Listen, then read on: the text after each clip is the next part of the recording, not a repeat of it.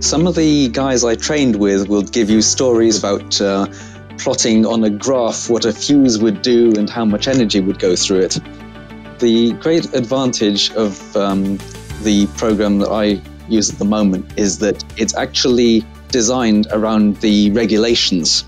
So I know not only the capability of the equipment, but I also know what is considered safe and legal, and therefore I can adjust my design accordingly.